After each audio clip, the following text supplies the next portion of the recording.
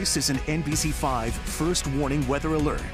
Hi there, Tyler Jankowski here. Bit of a severe cell in the Champlain Valley, so wanted to update you on that. Kaylee took this picture of a small hailstone in Highgate, and you can see the shelf cloud in South Hero from Bradley. And again, this is north to south movement that we're talking about. So the warning is in the shaded area. It does include Burlington till 815. A little bit of an outflow boundary there, which again does mean the cell is weakening, but not quick enough to not have a warning. So the warning again up for another 30 minutes or so. We'll show you the heaviest part of this cell starting to get into northern Chittenden County right there in the Milton area.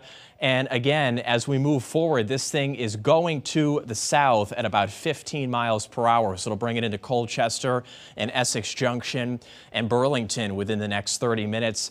That pea-sized hail in this zone between St. Albans and Georgia, so I would expect that along with some gusty wind for the duration of this warning as it moves right into the immediate Burlington area coming up. And just a heads up, there's a few more cells behind this one as we go forward, so we'll be watching for those. But generally, this is probably the only severe cell of the night. But we'll keep you updated as necessary. And for now, send you back over to the programming in progress.